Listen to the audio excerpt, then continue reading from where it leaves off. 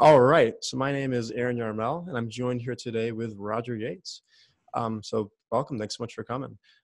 Um, so Roger Yates is a lecturer in sociology at University College Dublin and the University of Wales, where he specializes in animal rights. Um, former executive committee member of the British Union for the Abolition of Vivisection, former Animal Liberation Front press officer, uh, co-founder of the Fur Action Group, and also co-founder of an organization called Vegan Information Project. So, uh, you know, welcome. Thanks so much for being here. I'm really thrilled to to have a conversation and just you know explore some really important issues. Yeah. Hi. Yeah. Thanks for having me. Thank you.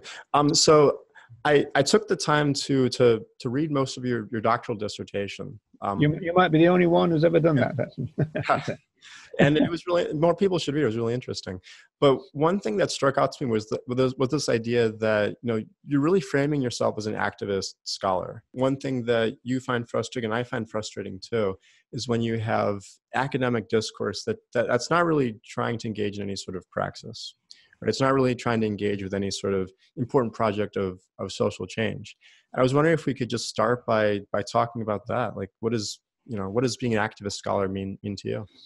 Yeah, well, I suppose some people might even think that's a bit of a pretentious title, but um, it developed really. I was when I was doing my PhD, there was um, another activist scholar uh, called Alexandra Plows, and um, she was involved with the um, Earth First movement, and so uh, her PhD was on that and mine was on um, you know the cultural um, support pillars of speciesism.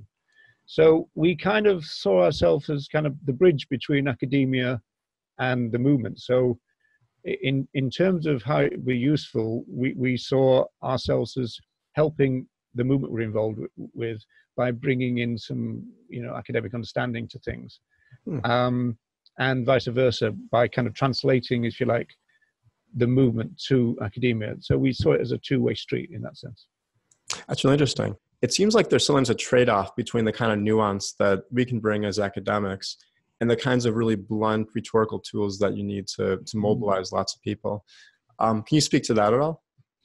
Yeah, it's a, it's a frustration for me in, in the sense that, um, you know, real life with bunny rabbit ears is, is, you know, is kind of gray and um, a lot of people would like it to be black and white, and that's what kind of rhetoric is all about. And so, um, you know, subtlety in a social movement setting is often not kind of welcome in a way, because people want to make a. It's almost like um, a soundbite kind of world uh, in social movements, and so this is interesting in the sense that. Um, you know, some of the people who were founders of the animal rights position, like Tom Regan, and people who were founders and pioneers of the vegan position, like the people who started the vegan social movement in 1944 in England, they weren't, they didn't really speak in sound bites. And so therefore, um, I don't think that their, um, what they have to say um, resonates in uh, so much in the sense that you actually have to look at what they say and kind of work it out because they're not going to punch you between the eyes uh, with what they say. Uh, they expect you to kind of, if you like, um, be able to contextualize what they're saying in, in the way that they do. And I don't think that a lot of, certainly a lot of the kind of um, new activists don't seem to be either willing or able to do that. Uh, you know, which um, I don't, I don't mean to be arrogant by saying that. It's just that um, I, I, I kind of go along with um, one of the witty things that Gary Francione ever said was that um, youngsters nowadays get uh, fatigued by reading a tweet and um, I, I, do think there is something in that, in the sense that if you do say to them, well, if you see this text, you kind of know if you present that on Facebook, it's not going to get read, you know, because mm. that, it, that's just not the kind of thing that happens nowadays. Yeah, I think I think what's fascinating is that there's these like filtering mechanisms that prevent nuance from making. I think yeah, prevent nuance from really making it in, and um, the people who make it through the filters are the ones who will have these really quick sound bites that fit onto a slogan that you can put on your, your, your sign and carry around at a protest. And the ones who have the more nuanced position that I think we'd probably agree are closer to the truth um, are not going to make it through those filter mechanisms. Yeah, I think one of the frustrations for me, though, actually, is the fact that um, you don't you don't kind of get off um, first base uh, on, on, this. And so um, I've recently uh, begun a Facebook page which is called Tom Regan Legendary. uh, is because I feel um, it's very important for people to know his legacy, essentially, in terms of his ideas, rights-based animal rights. And um, but there are some problems with Regan. Hmm. But I'm not quite sure if we'll ever get to those because, um, you know, in, in the sense that that would require people to have got to stage one, as it were, and understood rights-based animal rights. And then we go, okay, so now we know the conceptual issues that we're dealing with and, you know, where they were coming from, product of their time and all the rest of it. And then you would move on to the subtleties. Like one of the big issues for, for Regan is the fact that um, he began thinking about these ideas in the 1970s Mm. And so that meant that when we got to the case for animal rights, which is a fairly difficult read, uh, and it's very kind of dense philosophical text, um, but he, he drew quite a lot of it, including some of the most important parts of it, like subject of a life, this concept, uh, in a fairly conservative way. And I think it is because he wanted to move the conversation on. Well, I'm in. I'm almost like in the same situation now, where I'd like to be able to look at the problems of Regan but first of all, I've got to almost like establish who Regan is now within the movement, which is called animal rights. It's very frustrating for me. Yeah, unless we can get people to this like you know first base where they're able to uh, understand what the ideas are, and understand the power of those ideas, and um, understand all that. Uh, they're not ready for the critiques yet. No, I, I, yeah, I think you're right. I, I mean, I, I, um, I was looking at um, some exchanges you had recently on Facebook, and um, you, you went from animal liberation to practical ethics. Right, I did. Yeah. Uh, yeah, and so you know, again, it would it would require that people had done, as it were, that that type of groundwork, if you like, and it's very frustrating in the sense that um, you find that that's not really going to happen. You know, so when you talk about Regan mm-hmm. you need to know something about uh, legal and moral rights, and you need to know something about negative and positive rights. You know, and so when you're dealing with people who who don't, um, I don't, I don't see the differences there, and in, including quite a lot of academics. You know, you you, you see people attacking Regan. You know, there, there was a, a, famous televised um, debate where one of the people opposing Regan just took a legal rights position and mm. he was there going, well, you know, he actually said in the sum, summing, I've got no evidence that you've read a single page of my stuff. And they're going, well, we have. You're going, well, I've got no evidence of it. So that's the kind of frustration that you get into, I suppose. Yeah. So, so, so given this, given this huge disconnect between the ways that, you know, academics talk about these issues and, and given, I think, some of the difficulties in really jumping into the nuances of, of Singer and, and Regan, um, what do you think the role is that that you know activist scholars can play in you know adding like some dialectical hygiene to the debate or or you know moving people forward and, and thinking about ideas? Well, actually, I found myself in the same situation that Regan says he found himself in because he, he had great hopes about the case. Hmm. And um, he thought he'd kind of launched the animal rights movement proper, as it were. And I also thought that if I was able to present some kind of insights from social movement theory, people would be kind of, wow, that's really interesting on the grounds that they're in a social movement. Right. But they're not necessarily open to all that. They don't necessarily um, want to go there. And so I found it quite um, frustrating in that sense. And you, you then base, you basically have to limit your, your own position to, to the very basics of it. Mm. Um, because that's about the only, you know, the, that, that's all you can go to in, in, in a way. And so you yourself, I mean, you know, if, if, I was, I mean, I'm not a philosopher, I'm a sociologist, but if I if I was to to talk to you in depth now about the case, I'd probably soon get lost talking to you, uh, you know, because I I don't ever get to go there.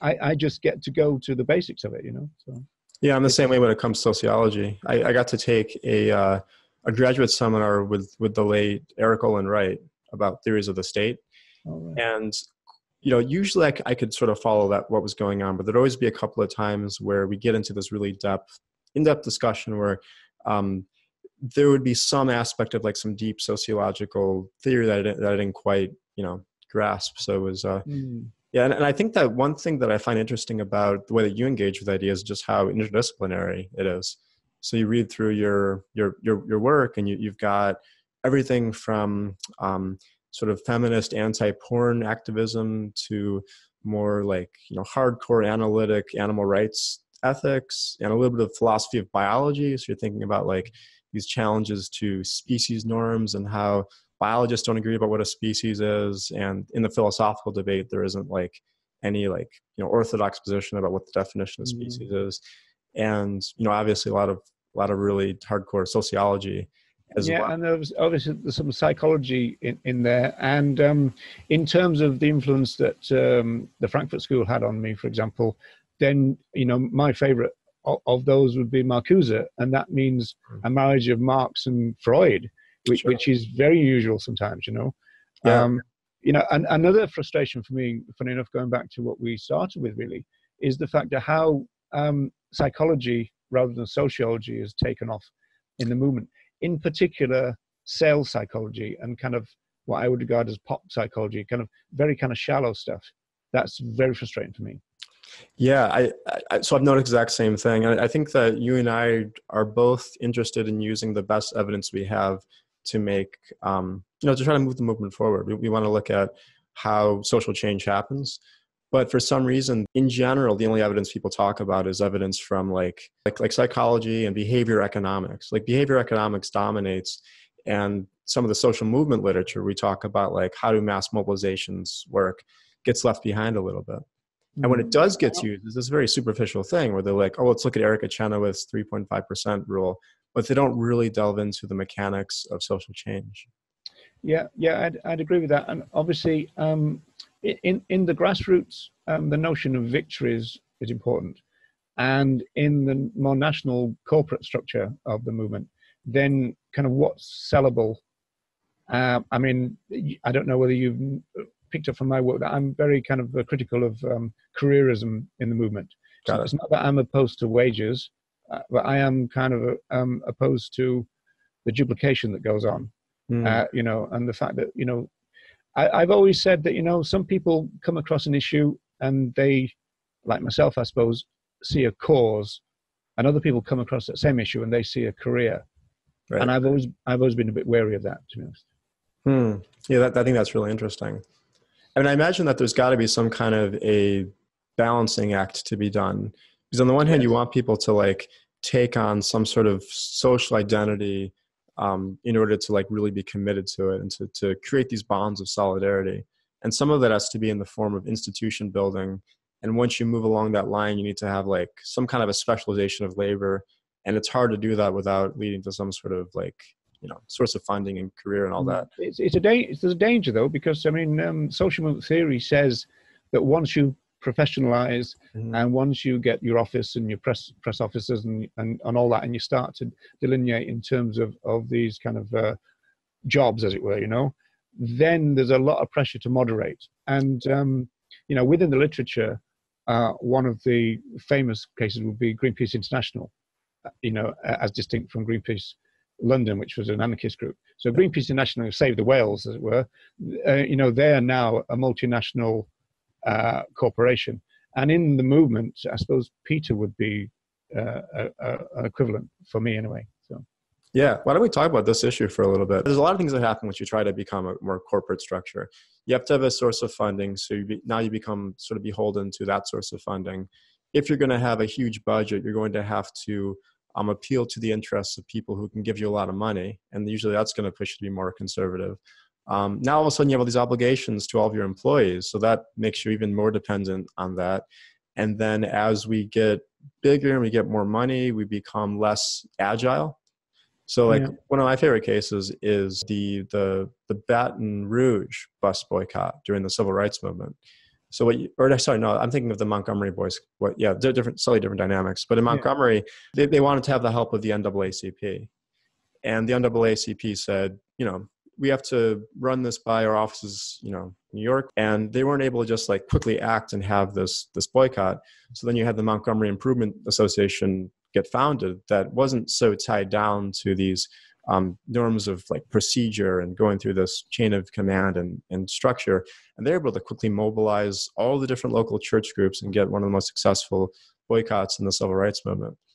Um, but so, like, how do you see those dynamics playing out in the animal rights movement?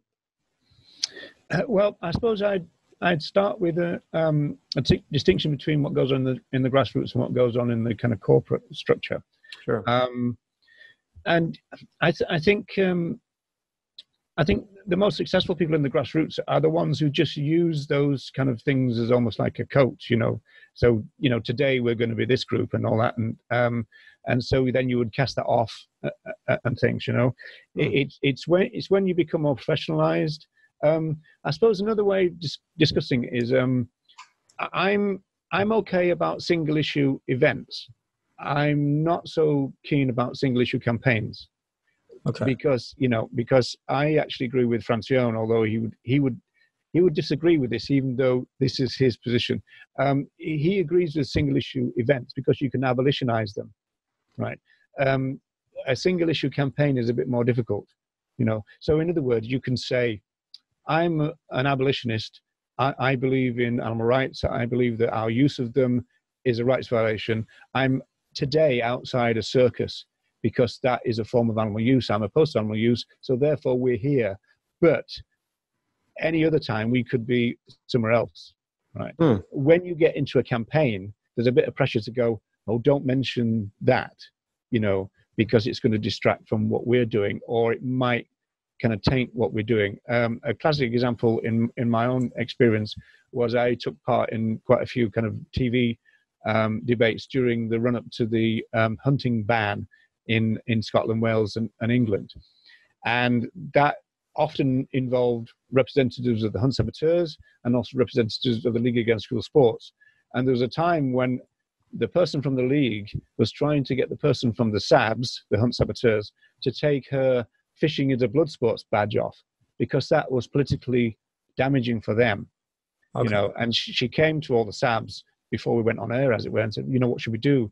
And we go, well, that's their problem you know, the fact that they don't want to mention fishing is the league's problem. The, mm. the hmm. fact is, from from our point of view, it's a form of animal use, and so we would talk about it. But you know, so in in other words, you know, you would get this kind of decompartmentalizing going on and going, well, don't mention that and don't mention this. You know, it it doesn't happen so much now because we now see veganism as the moral baseline.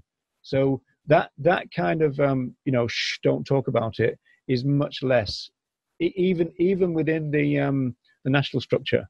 But they've had to be kind of dragged there, kicking and screaming to get there. I mean, it's not so long ago that your animal aids and your mercy for animals, they um, they would be put, which is a completely you know welfare group, you know, begging for mercy, you know. Anyway, but you know they they would have a strong video, and at the end they would go veg.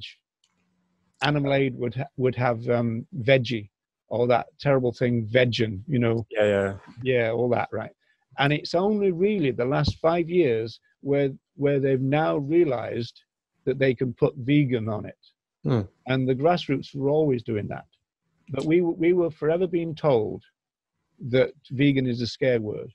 Hmm. And now the reducitarians and the welfareists or whoever you want to label these people, the vegan strategists, of the world uh, were telling were telling us this, and they've been proven completely wrong mm-hmm. because people are not scared of the word. And now, when when I do outreach in Dublin, you've got buses going past our our location, and they've not only got the Go Vegan World adverts, but you've now got Subway and other kind of commercial things with you know vegan your way and you know it's here the new vegan sausage roll and this kind of stuff and so, ve- vegan, the word, is not what we were told it was.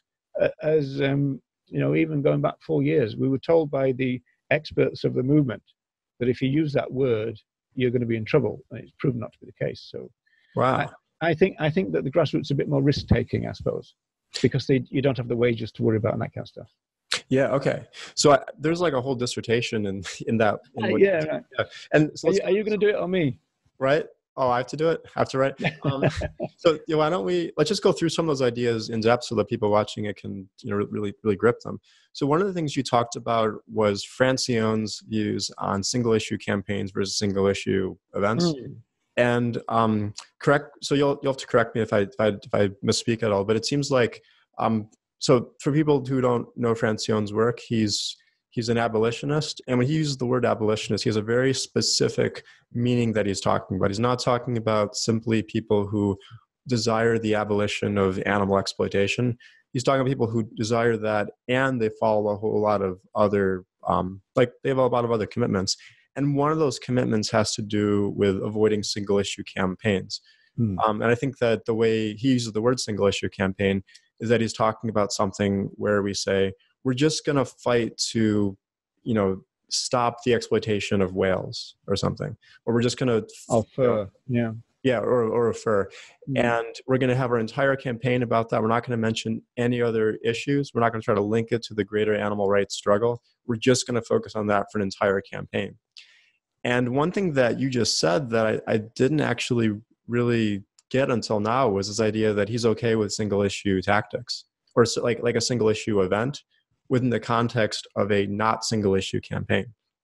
Yeah, the thing the thing is though he would deny that and he he would say that he's opposed to it. But th- there's uh, there's a subtlety to, to this. Um, he says theoretically a single issue event is okay because you can abolitionize it, but it's best to not say that because the only person he trusts to do it properly is himself.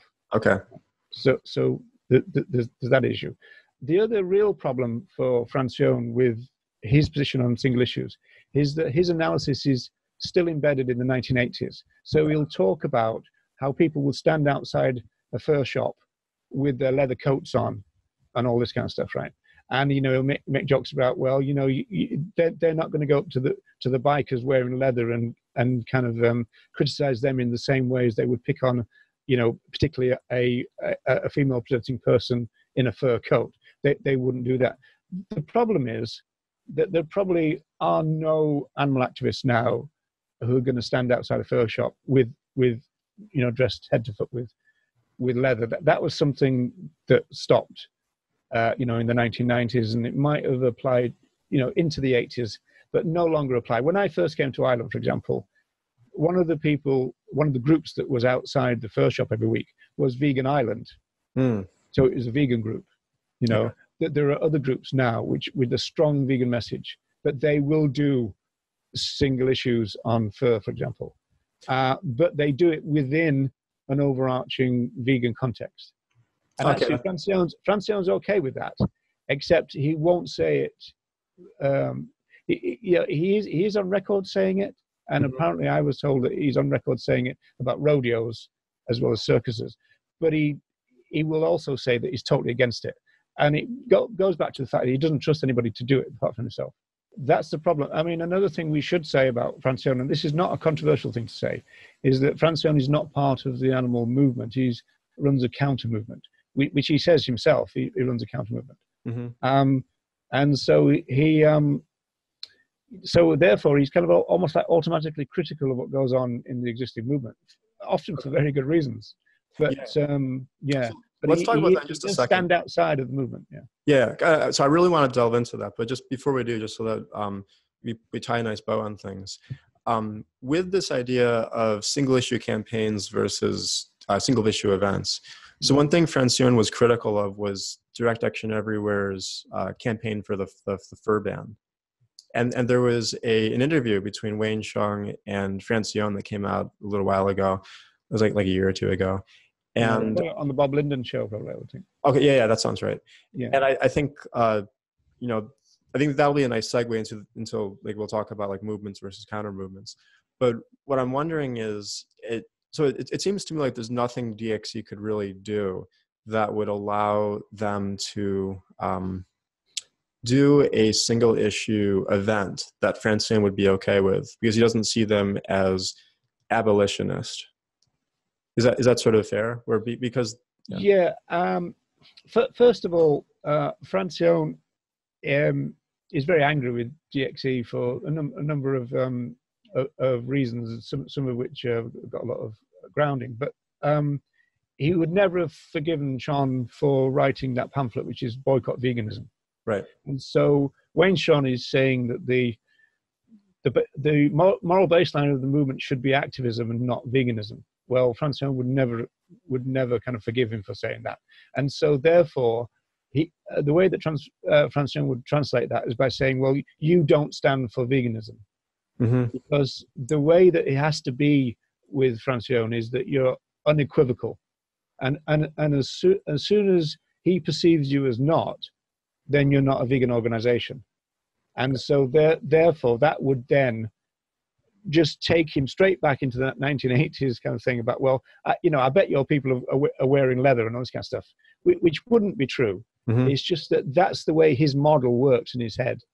And that would take him into that kind of analysis, you know. Got and it. then, you know, so you end up with Hsiung going, well, hang on a minute, you know, we're all vegans and everything. And you go, no, yeah, but you're against veganism, you know. So it would end up being this kind of like shouting match in the end. Yeah, okay, that, that totally makes sense. And I think this is a space where we need more activist scholars to engage because I so I read his I read his boycott veganism. Have you, have you read Hsiung's boycott veganism? Yeah, yeah. Yeah, and I think that a lot of what he says could have been written using slightly different language by somebody who thinks that we should boycott um, consumer veganism or, or sort of boycott seeing vegan as like your primary social identity and then not having any sort of um, intermediate tactics. So, I, yeah. so yeah. Well, and, and another way where it comes out through Hsiung mm-hmm. is the kind of like the one, two, three thing that people like Earthling Ed have, have copied, which, which okay. is that, um, you know, you, co- you come across somebody kicking a dog. Are you familiar with this one? Mm-hmm. Yeah. Okay. And so veganism is number two, where you just don't intervene, right? Whereas the activist gets in there and goes, you know, uh, we're taking the dog, thanks very much, kind of thing.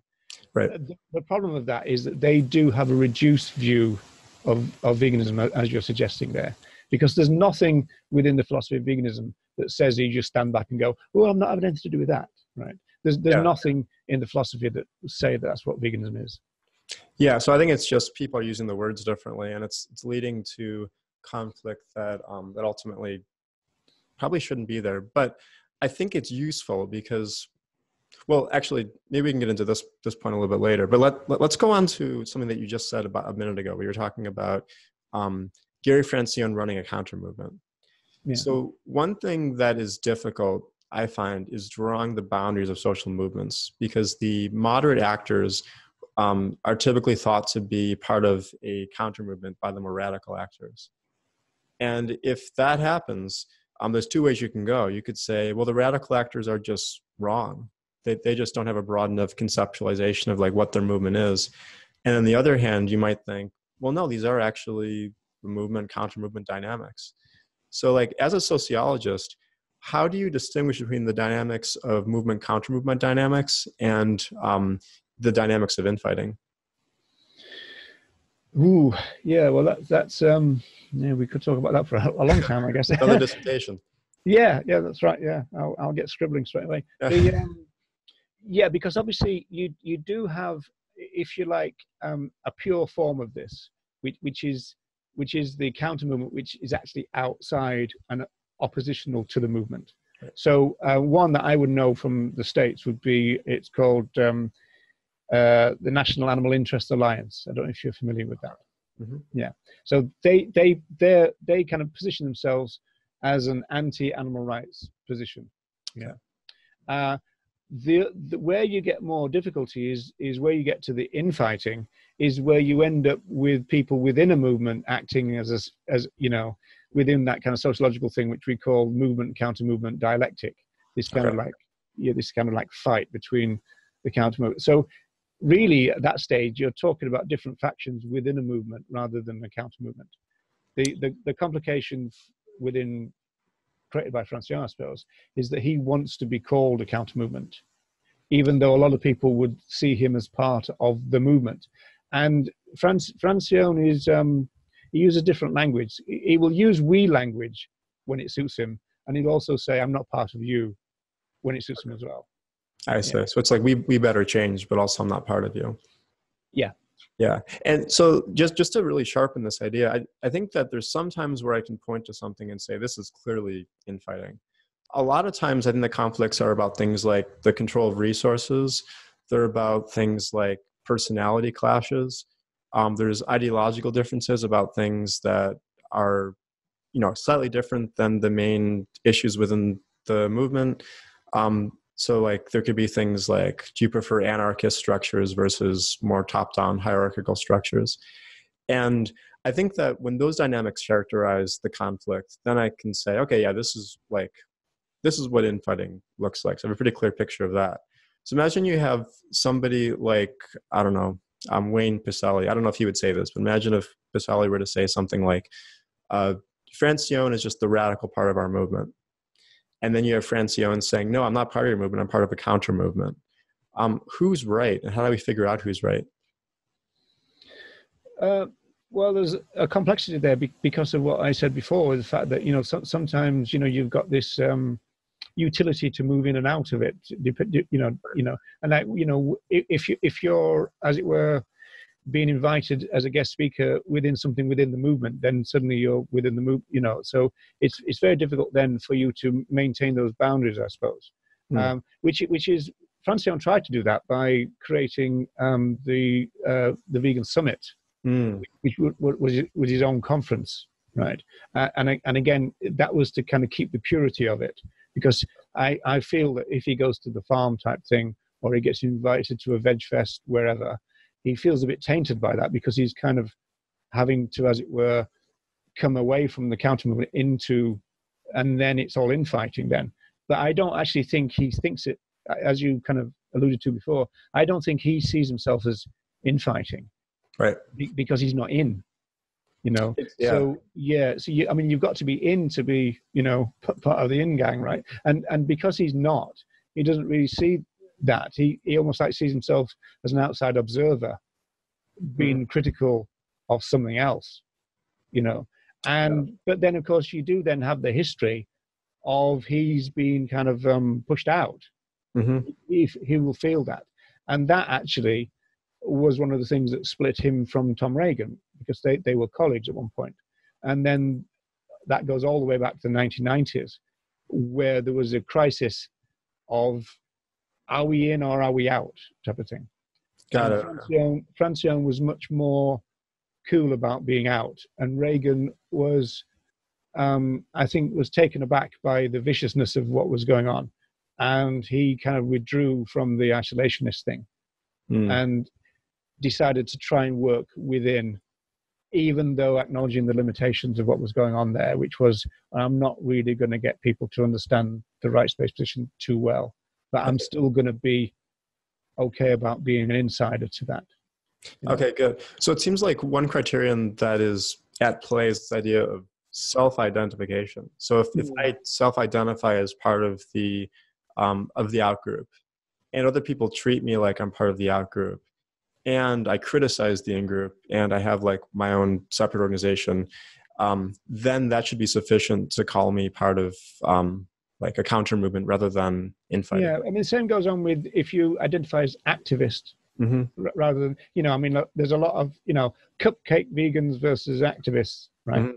So they're constructing in and out groups there. Oh yeah, yeah, good. Uh, but I think so. All right, so so Francione, maybe we can solve with that with that criterion. We could just say he's part of the out group because people treat him like an out group, and he self-identifies as the out group. But suppose we have your cupcake vegans, and your cupcake vegans say, um, "Look, I'm. This is what vegan activism is. Like, we need to give people cupcakes, and mm. you know, we're not. We don't do just cupcakes. We also do um, cookies, and we might give some fake vegan, you know, vegan like nut from you're just go through a list of consumer goods now yeah right yeah we just go through different consumer goods and you know doing all this innovation and they say yeah we're part of the movement mm. um, like so i think self-identification can't be sufficient because i think well, you can resolve that though by the broad church idea right? You, you yeah. could you could still say okay you, you're so let's think about it in broad church different wings yeah. and all that. And so you might think in terms of wings rather than factions because factions seem to be oppositional. Wings just seem to be more kind of well they're over here and you know all that. And so you could you could see it that way. And i suppose the way that that kind of works is that you have kind of alliances within the movement mm-hmm. and then the key to keeping those alliances going would be for them not to criticize each other okay. because that's usually the thing that creates the wings become infighting because they won't not criticize each other. Yeah, that makes, if, sense. if you stop them doing that, then you can carry on as being a broad, broad church. It's like a political party. Yeah. Okay, that makes sense. And then eventually, you know, you might have to break up the church, and yeah, we get Anglicanism. Yeah. Um, you go right. You know, I, I'm now going to form my own thing. Yeah. So. Yeah, that's interesting. Uh, maybe a more helpful way of framing this this question about when does a counter movement become a counter movement as opposed to like just infighting has just might have to do with the usefulness of various character categorizations for certain kinds of questions.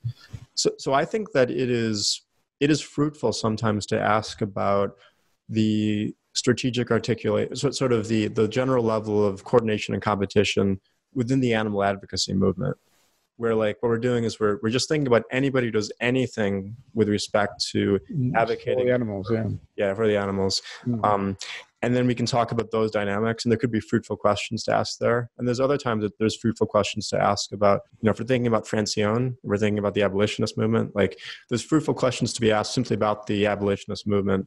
And there we want to conceptualize him as a counter movement to this main you know the, the, the new welfare as, as he would term them. It might be at the end of the day that really we all we have to do is or what we're left with doing is saying for the purpose of the question i'm asking does it make more sense to conceptualize this as movement counter movement dynamics or as infighting? Yeah, it could be, but also, you know, it's a very fluid situation because, you know, um, you know, people can kind of come together on some issues and and and then not, you know, and also, I mean, I say, I think one of one of the big, um, you know, the the big uh, things that you, we need to discuss here is that are the outcomes the same? Mm. So welfare outcomes are different from abolitionist outcomes. Uh, which are kind of um, put into a soundbite by Tom Regan. You know, we don't want bigger cages, we want empty cages. Then you've got the complication of new welfarism, which is like in the middle of, of that. Mm-hmm. Um, so we can then, I mean, like I can think back to when I came into the movement, which is 1979. Um, it's really fascinating for me now looking back because we saw a welfare group like Compassion in World Farming, this is in England now, as part of the, the animal movement.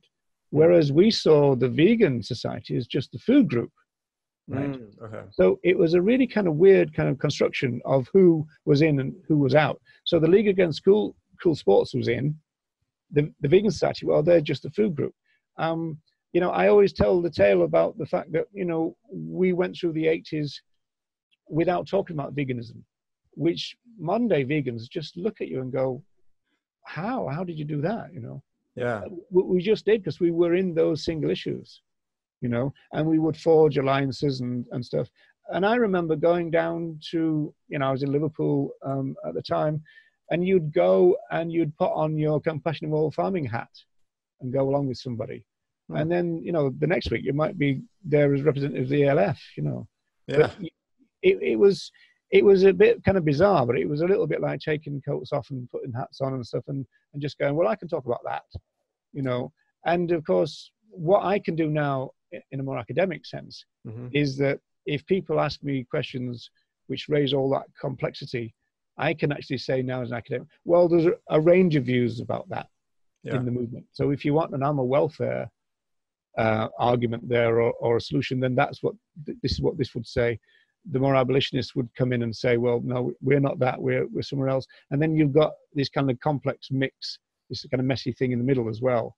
But mm. you, ca- you could actually look at the spectrum if you wanted to and analyze it for that. Not, not so great on the radio because you don't get the time to do that, but right, you, could do it. you could do it. Yeah. Yeah, so that is interesting, and I love that you. So you brought this up a couple times, but there's like the the fluidity of it, where I think you think of grassroots activists as people who have the agility to be able to say, "I'm going to take off my um, my HSUS hat today and put on my ALF hat, and then tomorrow I'm going to do this other kind of other kind of thing. Maybe I'll push." I think, I think that applied to the past, not so much now because of the vegan okay. thing. Because of the what? The, the vegan the vegan okay. thing is almost like a glue now. I think. Got it. It acts as a kind of glue, um, and so you don't you don't get called upon to be a single issue person anymore now, like we used to be. So you'd get all these hunt saboteurs and militant people, and you go, you know, can, can, you can you talk about this uh, campaign to, um, you, you, know, to to make to abolish, say, the barren battery cage, right? Hmm. And we'd go, yeah, okay, and and you'd go and and not not by going well we're vegans and we're just going to talk to you about that because you've asked us to. We'd actually limit ourselves to, to the criteria that they imposed on us. We wouldn't do that anymore you know be, because they the conversation would be about veganism straight away. It, it wasn't the case. You could go through an entire you could go through an entire series of interviews without talking about veganism. And if you were uh, there as an anti-blood sports person you wouldn't talk about flesh consumption. You know, you, you would keep yourself in a box. It was like tunnel vision, you know. I see. Okay. I mean, so I see some people doing campaigns like that today. So yeah, this isn't going to be a perfect analogy, but there's there's something called the the Hen Heroes program, and I think it's a Mercy for Animals program. And what the what what happen is you'll you'll you'll sign up for it. Then they'll say, okay, tomorrow I want you to all go on McDonald's Facebook page and ask them about um, can we see your chicken welfare policy or when are you going to take meaningful chicken welfare reforms mm. or you'll or you'll like so, okay go to this amusement park park's website and say hi i'd like to read your chicken welfare policy something like that and it seems like what they're recruiting are activists who are willing to um, put themselves in a box for a couple of minutes and just say, yeah, I'm just going to do this one particular message, mm. not veer off, not talk about uh, veganism, or at least uh, maybe you're allowed to, but maybe, but you're not really being asked to. Yeah. Um, I think that for the most part, that's not what I see in the grassroots. Like, I, I think that if you show up to, I don't know, any sort of animal rights protest, you're not really going to be asked to say, you know, just focus on fur it's it's going to be something where you, you can always um, promote your veganism as well. Um, and that that's a fascinating change, and I think that it it helps contextualize a lot of Francione's ideas. Uh, this is really helpful for me because I didn't I didn't quite understand the dangers of single issue campaigns or single issue tactics. And so we think about it as happening during a time when activists would just put on your ALF hat today or put on your Hunt Saboteurs hat tomorrow and still be wearing um, leather because there wasn't more of like a comprehensive vision of veganism. Mm. Yeah. Well, of course, now everybody's going to turn up to everything with their t- vegan tattoos. So, um, so, you know, so in, in other words, the, the, the, ve- the vegan thing, I suppose, has kind of um, resolved quite a few of those issues now. Mm, that's it. Um, in, in the sense that um, it, it's almost like when I think back to my former self, it, it d- didn't really make sense what we were doing, except then it did. You know, um, because that's what we were kind of asked to do, and we were kind of um, willing to go along with it. And we, I suppose, we we di- we didn't have in the background then, you know, the Francione and the Regans to go, yeah, but you know, uh, no nobody did that to us, you know. Sure. So, mm. That's fascinating. So I think one other issue that I think needs to be talked about during discussions of movement contra movement dynamics is the way that charges of, of uh, infighting can be weaponized. So, one thing that I've seen a lot lately are people from the humane farming movement, and they'll say things like, Oh, we're all on the side of trying to help animals. Why are you vegans criticizing us? Why don't you work with us? Um, why are you mm. doing all this infighting? And I think that's a clear case. We want to say, No, we're not, we're not part of your movement. This is, I think you, you must have misunderstood what it is that we're doing. Mm. Um, you want to end, like, we don't want bigger cages, we want no cages. And is that something that you've seen? Is it happening more often today than? Yeah, I, actually, I, I think um, so, something happened um, just last um, Sunday, which I think is what you're talking about here. Um, and I think uh, when you start to analyze it, it's kind of like what what happened in this thing I'm just about to tell you hmm. is kind of like partly our fault. I think, in the sense that this guy came along and I was putting up our big banners on the street and he said, um, "Oh, this is all just craziness." Hmm. And I turned and I didn't I didn't criticize his ableist language, but I, I could have done. But I, I kind of said, what, what, do you mean?" You know, and he goes, "Well, you know, all this," and he goes, um, "You know, it's not cruel." You know, in other words, to use other animals. That's what he was saying. And I said, "Well, well, actually, you know, we're not actually focused on what's cruel and what's not. We're, we're focused on rights." Mm-hmm. And he goes, No, you're not. His, his response to me was, No, you're not. And it was almost like, Well, look, I've, you know, I've seen a few videos and all that, and, and, you know, all your people talk about cruelty all the time, which is true. Mm-hmm. You know, if if you if you look at the the stuff that the you know the YouTube superstars talk about, you know, I mean, it's distressing the generational difference now because you've got people like Earthling Ed talking about being an animal lover. Mm-hmm. Our our generation would never do that, you know. And because we've been saying it's not about loving, it's about respecting and this kind of stuff because it's much more rights based in those days. And you've got, you know, um, people like um, Joey Carbstrong, who's seen as the militant of the movement, mm. um, talking about cruelty all the time, right? Yeah. And um, nobody nobody talks about rights violations.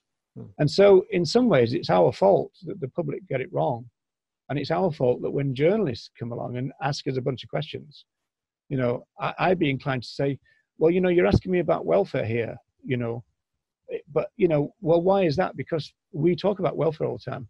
We we we, we talk within the welfare paradigm it's almost like, oh, don't be cruel, don't be cruel. And we, we forego the much stronger claims making, which is based hmm. on other animals are rights bearers. We're talking about rights holding. We're talking about human use of other animals being rights violations. There's very few people who talk in those terms. So if people get it wrong, well, you know, why wouldn't they? Yeah.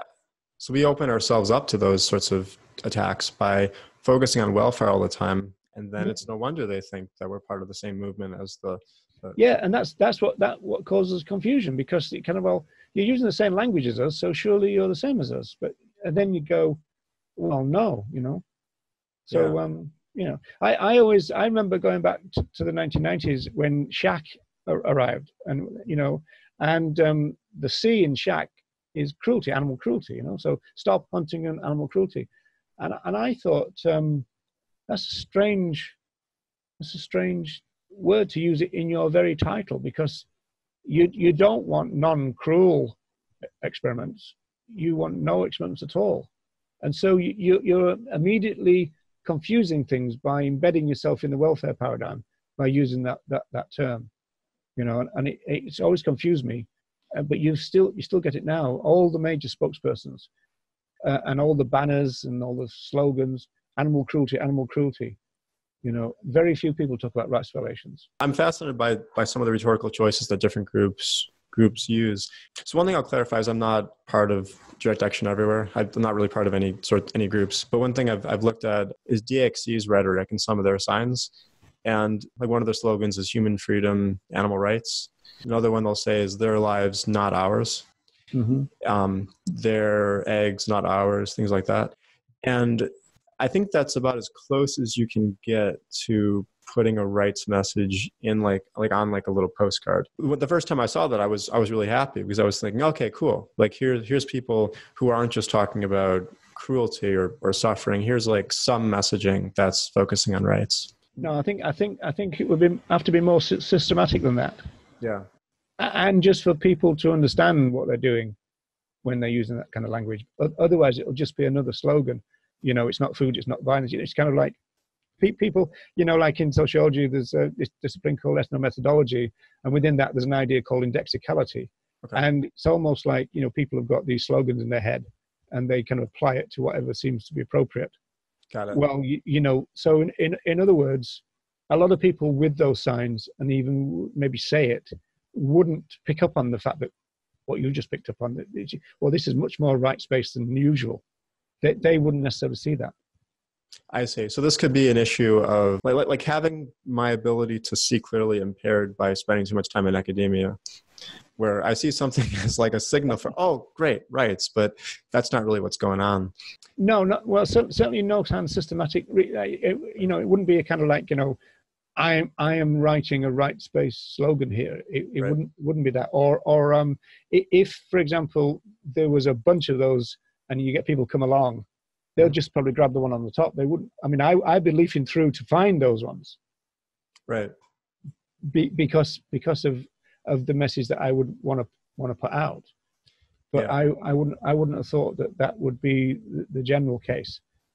Um, you know that's right and, and, you know and, and there's a um i see it going the other way too where i'll see organizations that say we are explicitly an abolitionist organization um, and they they don't want utilitarians around like like they well, I think part of that has to do with misunderstanding of what utilitarianism is. Um, but but they're they're very committed to this abolitionist line. But then you look at what they do, and they have single issue campaigns. Yeah, I I think that you know if Francione was sat here with us, he'd just say, well, people just don't understand. That's that's that's what's the problem. Yeah, and, you know, and one I mean, thing, um, just to like you know on, on this point, I think one reason why a lot of academics are terrible teachers is because we're the people who were weird enough to benefit from the from a certain style of teaching and then decide to stick to stick with it and never want to leave school. Um, but there's no guarantee that the methods that work on us are going to work on your typical student who does not want to go into academia. So I think that there there's certain kinds of like ways into animal rights or ways into the advocacy movement. That's the same thing that like attract people like us, but just aren't going to be the things that are attracting uh, most people. And yeah. No, but I mean, I, I think partly is because there's not an agreement about what we're looking at. Right.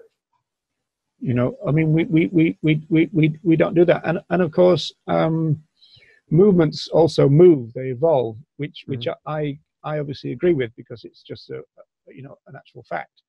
Um, my own position on that and the work I've been doing for the last few years is being trying to encourage people new to the movement to learn about their movement.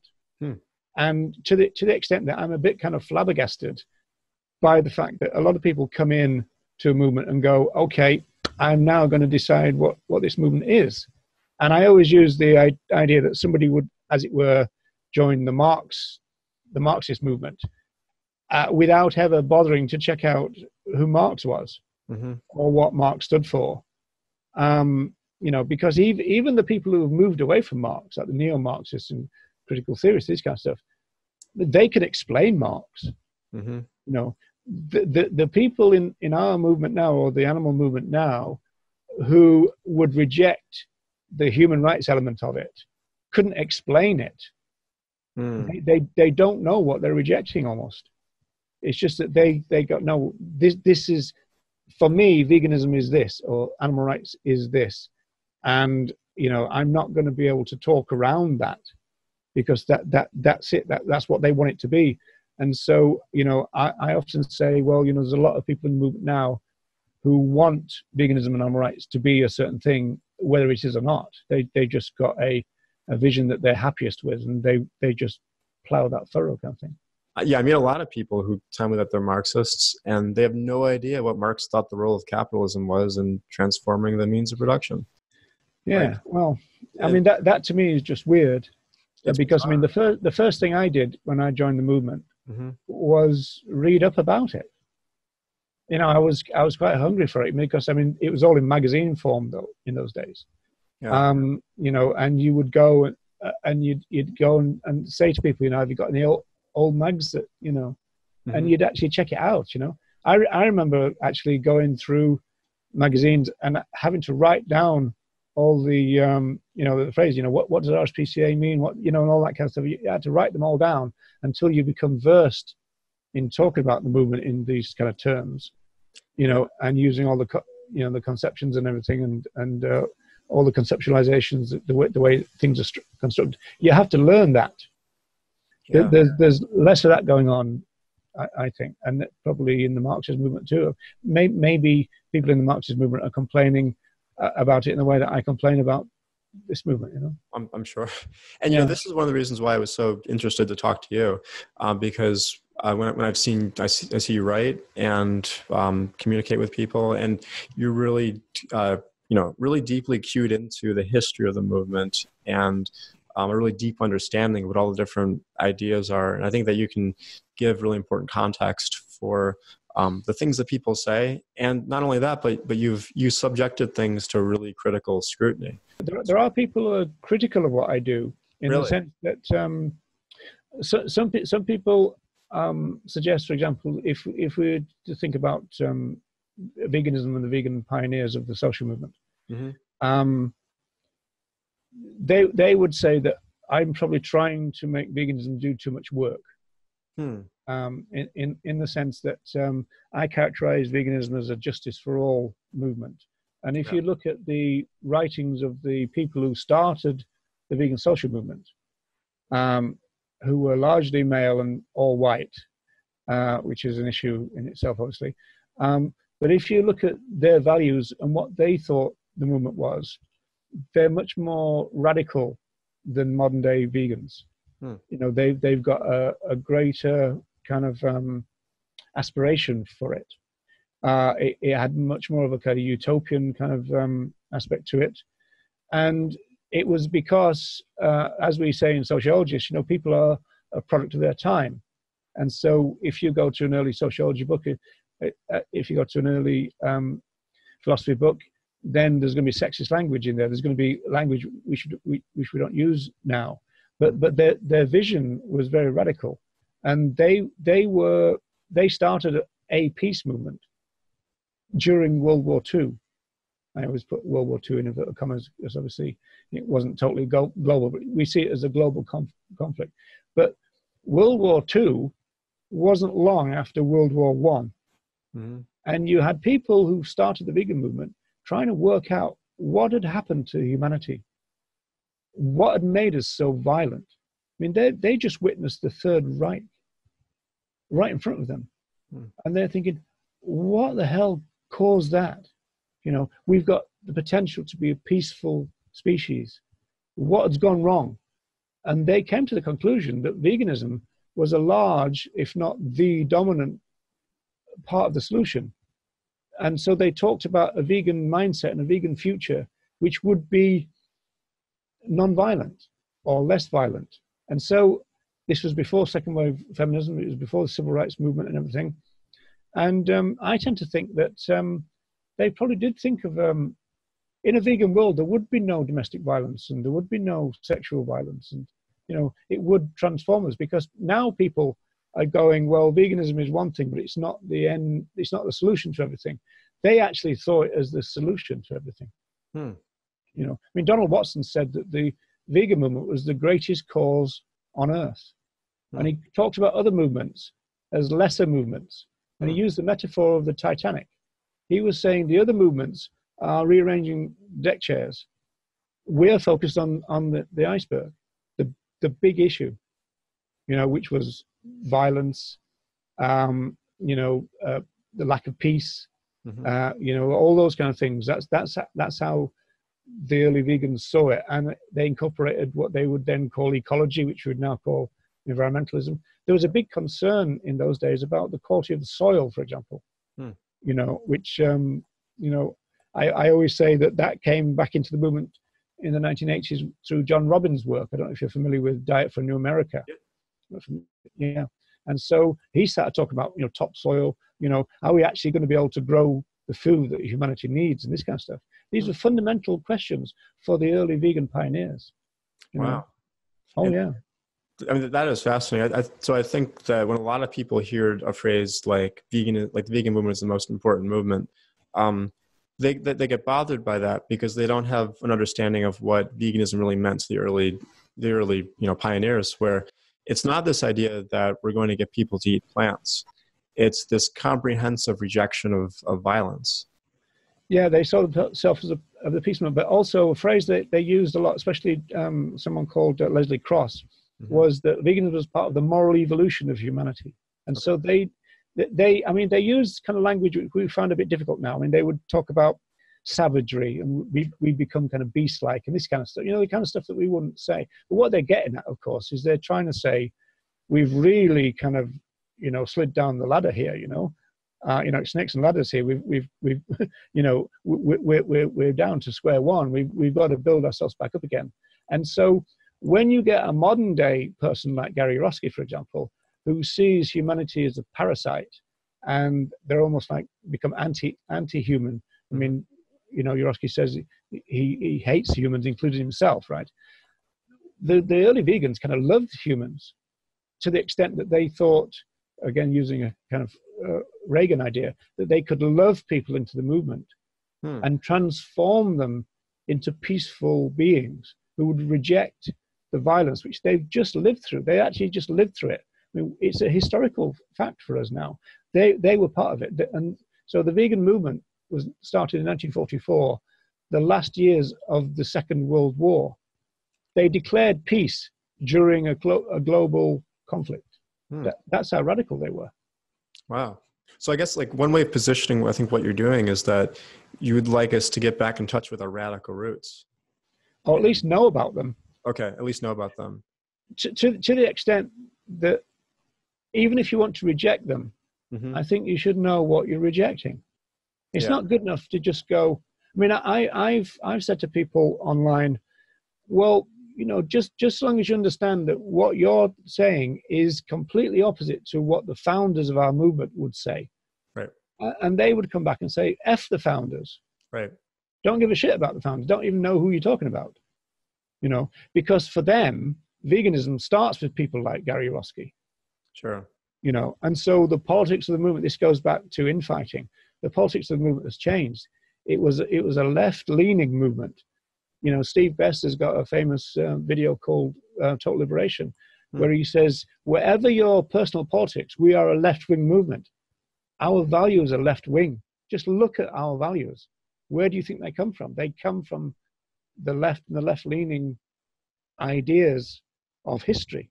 You know, we reject right wing values, you know, nation and walls and, you know, all the stuff that Trump stands for. We, we, you know, these are not our values, you know? Yeah. I so um maybe so here's just like one one other thing I'd just love to, to to ask you about, and it's the idea. And I'm, I'm wondering about diversity within the movement, and specifically diversity of strategic orientations. So, like, suppose we accept this idea that we need to get back to our roots. We need to get back to these these roots of radical abolitionism and, and criticisms of you know violence and it's it's a very comprehensive sort of doctrine um, we're not going to yeah so so we, we have that and we and we really need to shift more in that direction um, do you see a role for there being some like more welfarist organizations like humane society of the us or um, other groups like that I'm, I'm not sure that we need any organizations I, th- I think in the age of the internet I'm not quite sure why they're needed. Really, I mean, you obviously got to get people to come together, but you know, we could we can do that online. Um, as I was saying before we came on air, as it were, you know, I'm based in Ireland, and there are no national group structures. There isn't a, a corporate structure in Ireland at all, okay. and yet we're doing fine. You know, we we don't we don't we don't need them. Uh, you know, uh, we don't need them to tell us what to think or what to say. We can work that out ourselves through talking to each other and stuff. And so um, I would be critical of uh, the groups, whether, whether they would be welfarist or whether they see themselves as a rights thing. I'm not quite sure in the age of the internet whether they're even needed at all, to be honest. Okay. Um, I have like two questions about that, but I guess the, the first one I'll ask is where my anarchist a bit comes out. See? oh yeah, yeah, sure. I mean, I like anarchists. So you're, you're fine people. Um, what what I'm wondering is um, one way of I think reframing the question in light of that is to think: Is there room for some people who are pushing for welfare reforms? Um, I, I did some work actually with Gary Francione about this, okay. and um, I used uh, some work by a sociologist called Richard Gale, and what um, what most people do when they think about movements and counter movements, they think of that kind of dyad. Mm-hmm. Whereas what Gale brought in was the state or state agencies, and so it became a triad. And there was a complex relationship between the movement and the counter movement, and then what the counter movement said to, to the state and what the movement said to the state. Now, what tends to happen is, and I always use um, uh, a circus example here is when we talk animal rights, when we do talk animal rights, um, they talk back to us in welfare because that's all they can do. Got right. It.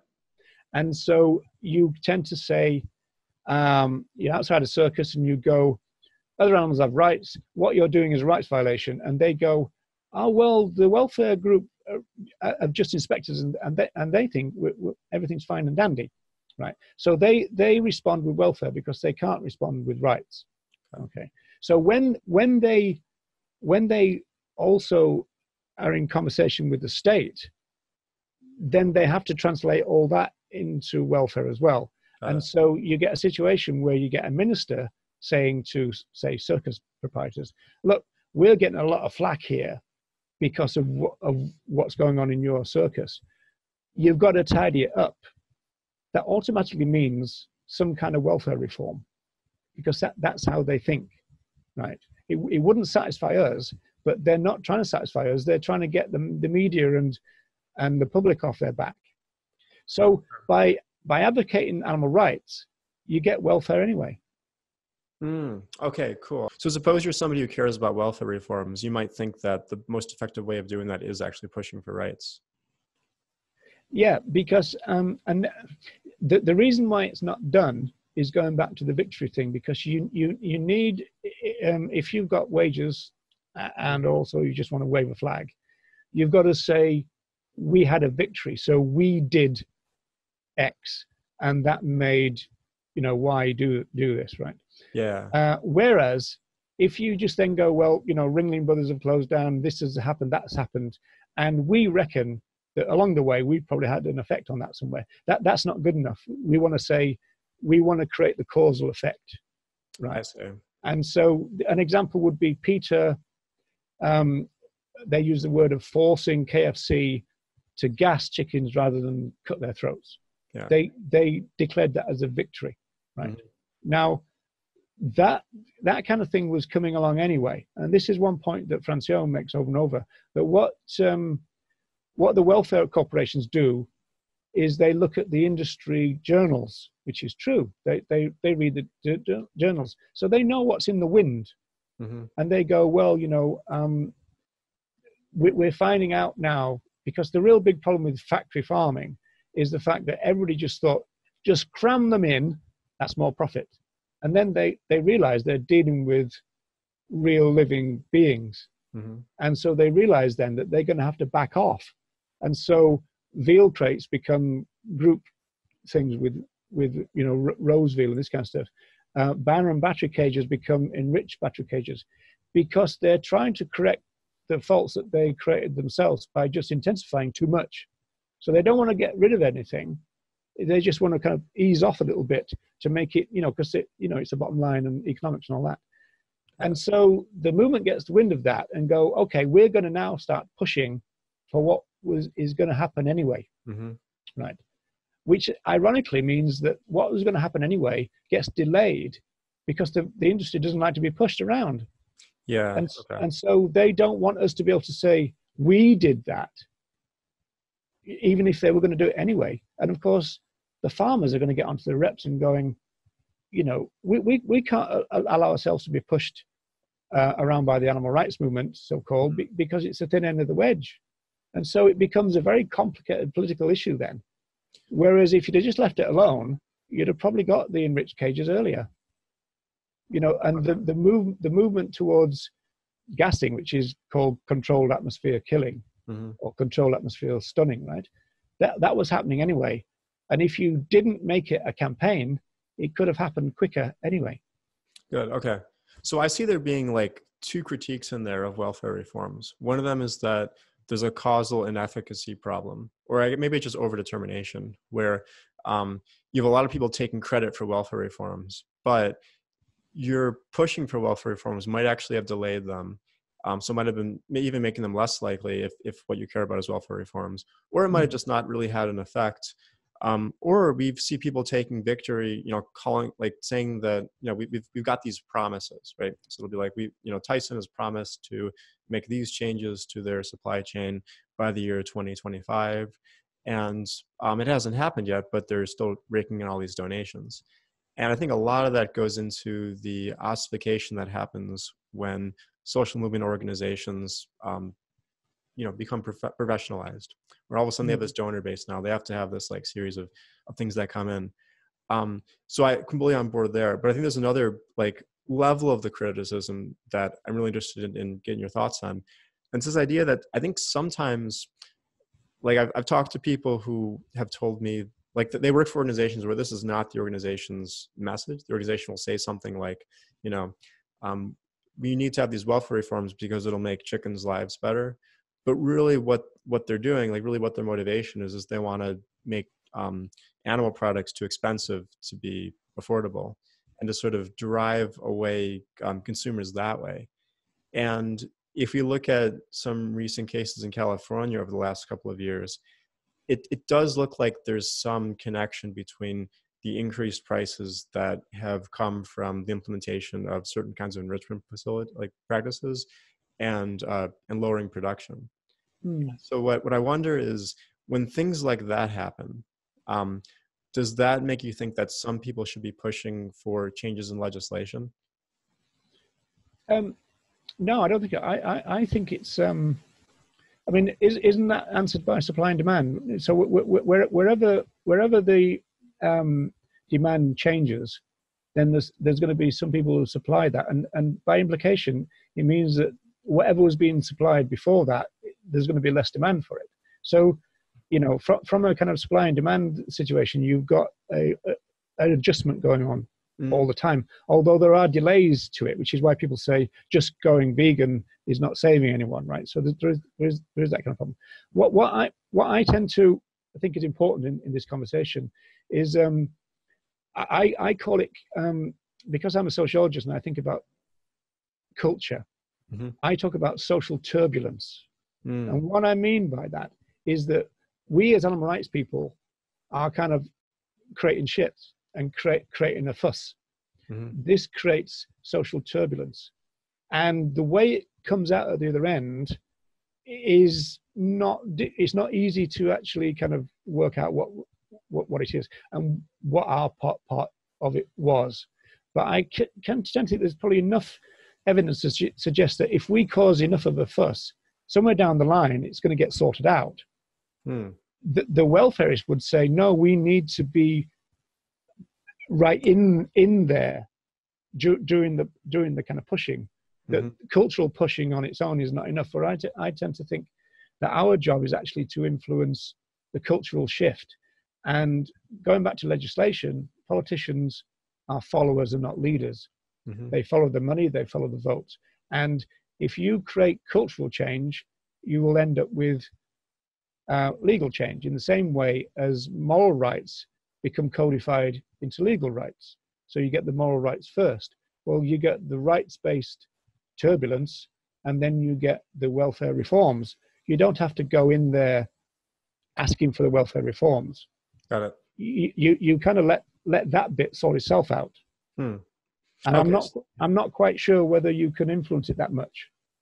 I see. So I think it's very complicated. Well, well, totally. I mean, I, I think like so I think you're, you're posing a different mechanism than the one that people like uh, White Coat Waste Project want to want to have. So we have um, like our job as activists is to create turbulence and to try to you know stir people up, get get these changes in consciousness, changes in thinking about animal mm. issues, try to break down some of these barriers and different yeah. civilizations and all that. And then once we do that, we we try to produce these cultural shifts, and then the political mechanisms just do their thing, and we don't need to intervene directly on that. I, I think. Yeah, I, I, I, think so. On the grounds that I, I always say that our number one problem is cultural speciesism. Got it. If if we can't undermine that, then the other animals are, are pretty well screwed, right? But okay. if we can undermine that, then it will have all kinds of effects that we can't necessarily predict. You know, we, we, we wouldn't be able to see the trajectory and we wouldn't be able to give you a linear kind of um, blueprint or anything like that. It's just that stuff will happen because of what we're doing. But okay. but there's no we, we, we can't claim we can't claim cause, causality so, so so easy. And that's the bit that the welfares don't like because they want to be able to claim that they did it. Got it. They, you know, they, they've got to pay the wages and they've also got to claim the victories, you see.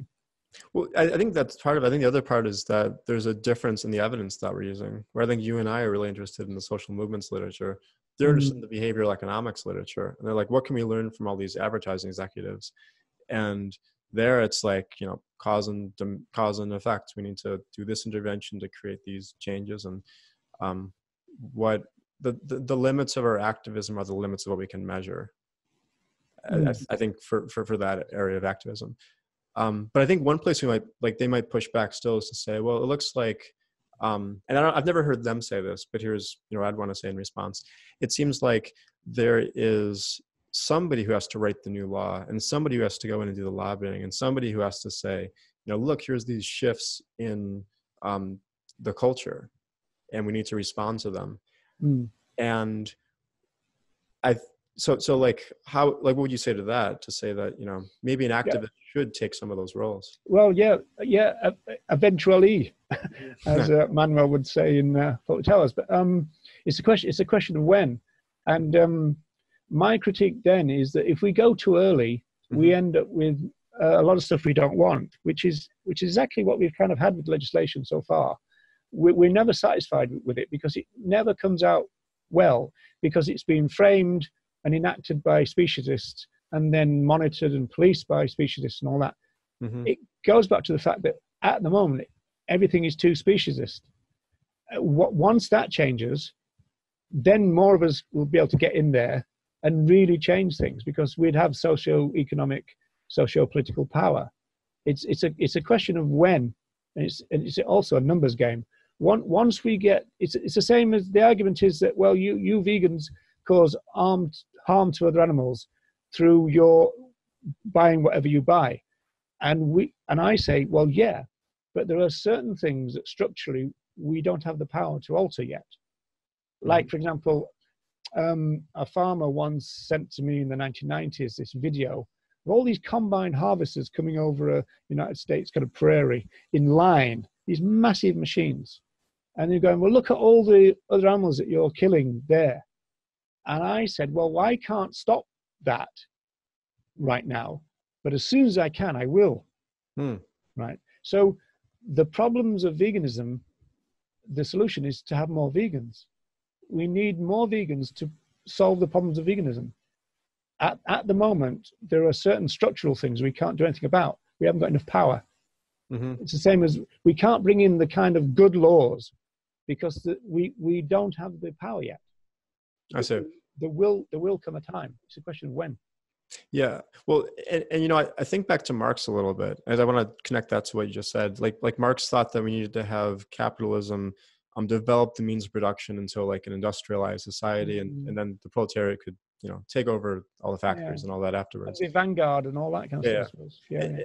And it seems to me like that's one way we could conceptualize uh, what, what groups like Impossible Foods are doing, where what they're doing is they're trying to transform our systems of production so that Mm. um, the society will be in a place where it can um, be more easy, more, more, more ready to respond to the shifts in the culture, where it all sort of works in, in, in concert with, with, with each other. Um, but that being said, you know, the, the work of the uh, Impossible Foods is not vegan advocacy. Like that's No. not their market. Um, and I think the people make like I make mean, all, all you've got to do though is understand that. I mean, Mm-hmm. I, I agree with that. I mean, that, that's part of the kind of reducetarian program right. that I've always accepted. Kind of like, well, you know, you've got people like Tobias Leenaert saying, you know, you're going to get a lot of people who are not vegan buying all these vegan stuff, and that's going to mean something. Well, that's true, Yeah. right? but that doesn't mean that that's what we have to advocate. Got it. You know, you're reducetarians. You you advocate that. If Mhm. you're a vegetarian, you advocate vegetarians. What tends to happen when people in the movement call for movement unity? Mhm. That's always meant the same thing in the movement. It means that the welfarists say to the rightists, do welfare with us, because they're not going to do right with us. And it means that the vegetarians say to the vegans, do vegetarianism with us, because they're not going to do veganism, although a lot of them do now, actually. You know. But, Good. but that, that's the dynamic there, is, is the fact that all, all we've got to do is go, okay, well, to, to the extent that impossible foods means X, Y, and Z, yeah, it's not a vegan thing, but that's not a problem. Okay, I mean, they, they've even gone to the extent of saying, we don't care what vegans think about us. It's not meant for you. Well, okay, so that's all right, isn't it? That, you know, it's not meant for us, so we don't, we don't, we don't have to particularly jump up and down too much about it. It's just it, that's what's happening, and in in a, in a, cap- in a capitalist system, it's inevitable. It's got a lot of problems. And it's got a lot of dangers because you're going to get a lot of people doing vegan things Mhm. and they're not vegans. They don't have the vegan mindset, and so as soon as it's, as soon as it's, it's kind of um, uh, politics then to pull out, they will. Mhm. And and in the meantime, they'll probably bought a load of vegan companies, and then we, we might we might have a slump then because there's we've kind of like you know ruined our ground base or something. That's a danger. But it's also, I mean, capitalism is a monster. Hmm. That's what's going to happen. You know, they're, they're going to see a market and they're going to jump on, onto it. And there's nothing that we can do about that because they're, they are the rich people. They're the ones with the power. There's nothing we can do about Bruce Friedrich and his Beyond all that and all the rest of it. All that, not nothing that vegans can do about it because they're going to do it. They've got the money to do all that. They're going to go ahead anyway. Richard Branson is going to do it. Bill Gates is going to do it for whatever reason they're doing it. Our job as vegans is to keep talking about veganism. That I think that's a really powerful way to to end this this uh this call. Oh um, right. Our job is to talk about veganism. Well, well th- thank you so yeah, much. We're, we're, vegan activists. That's that's what that's our job. Yeah. Well, well, thank you. Thank you so much for sitting down with me and having this this conversation. Really enjoy getting to know you. Um, yes. Uh, yeah. And uh, and me too. Yeah. Thanks. Thanks for inviting me. Thank you. Um, so thanks also to our viewers. Thanks so much for watching this and um, hope you have a great day. Yeah. Bye, viewers.